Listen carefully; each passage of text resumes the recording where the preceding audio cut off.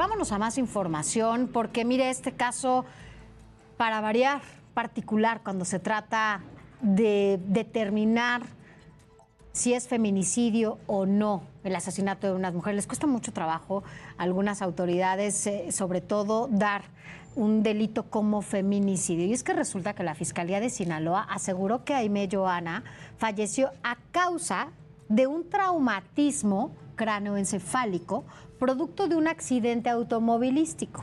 La joven tenía apenas 23 años cuando fue vista por última vez el primero de abril y ella iba saliendo de su casa. Su cuerpo fue encontrado al fondo de un barranco dentro de un vehículo. Ya los familiares de Joana denunciaron irregularidades de este caso. ¿Por qué? Porque la fiscalía dice que ella iba manejando, ella no sabía manejar, que las placas estaban a su nombre, ella no tenía ningún auto. Entonces, así las cosas. Veamos de qué se trata esta historia. Indican que se trató de un accidente.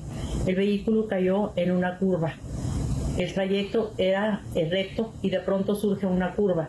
Eso hace suponer que eh, al pasar inadvertida el vehículo se fue derecho y fue lo que ocasionó que se volcara y rodara hasta el fondo del barranco. Ella quedó eh, en el asiento del conductor. El cuerpo de Aime Joana Milán Estrada, de 23 años, fue encontrado este martes 4 de abril dentro de un vehículo al fondo de un barranco en la carretera libre Mazatlán-Durango.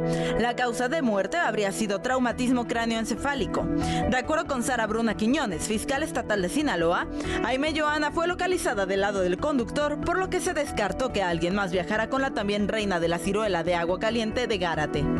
Sin embargo, sus familiares denunciaron una serie de irregularidades con la versión de la fiscalía explicaron que Aime no sabía manejar y mucho menos tenía vehículo. La joven desapareció el primero de abril. Fue vista por última ocasión al salir de su casa ubicada frente al fraccionamiento Lomas de San Jorge en Mazatlán. La última vez que se tuvo comunicación con ella fue esa misma noche a las 22 horas. Se encontraba sobre la carretera rumbo al poblado de Villa Unión en Mazatlán. Milka Ramírez, Heraldo Media Group. Bueno, estamos buscando tanto a la Fiscalía como a familiares de Joana para tener estas versiones porque efectivamente hay muchas contradicciones. La Fiscalía, por una parte, dice algo que no coincide en lo absoluto con la información de la familia, que no sabía manejar, como ya escuchamos, y que no tenía auto. Así que bueno, pues en cuanto tengamos estas dos posibilidades, sobre todo para que nos puedan contestar y nos digan qué está pasando y por qué deciden o por cómo llegan a esta conclusión en la Fiscalía allá en Sinaloa.